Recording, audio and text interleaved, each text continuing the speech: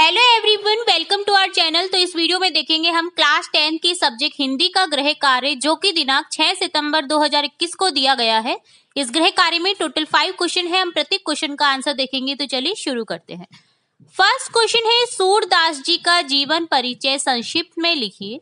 यहाँ आंसर में लिखेंगे, सूरदास का जन्म सन चौदह अठहत्तर में माना जाता है। एक मान्यता के अनुसार इनका जन्म मथुरा के निकट रुनकता या रेणुका क्षेत्र में हुआ। एक मान्यता के अनुसार इनका जन्म दिल्ली के निकट सीही को माना जाता है। इनके गुरु का नाम महाप्रभु वल्लभाचार्य को माना जाता है। यह अष्टछाप कवियों में सर्वाधिक प्रसिद्ध हैं।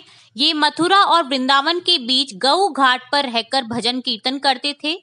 पंद्रह में पारसोली में इनका निधन हुआ।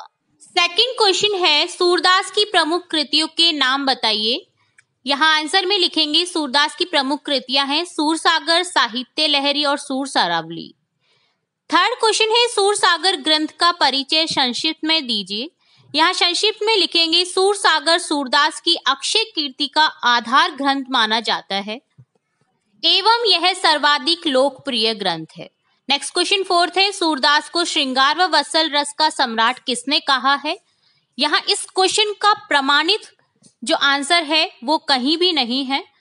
इवन ई कक्षा में भी उपलब्ध नहीं है। परंतु सूरदास अपने गुरु वल्लभाचार्य के संपर्क में आकर श्रृंगार व वसल रस के कवि बने थे। सूरदास जी वात्सल्य रस के सम्राट इसलिए माने जाते हैं क्योंकि उन्होंने श्रृंगार और शांत रसों का भी बड़ा मर्म स्पर्शी वर्णन किया है। नेक्स्ट क्वेश्चन फिफ्थ है, उद्धो, तुम हो अति बड़ भागी ये पंक्तियाँ कौन किससे कह रहा है? यहाँ आंसर में लिखेंगे, ये पंक्तियाँ गोपियाँ उद्धव से कह रही हैं। तो ये था क्लास टेन के सब्जेक्ट हिंदी का गृह कार्य। हम इसी तरह अन्य सब्जेक्ट्स अन्य क्लासेस के गृह कार्य भी देखते रहेंगे। तो जुड़े रहिए हमारे चैनल के साथ। वीडियो को पूरा देखने के लिए धन्यवाद।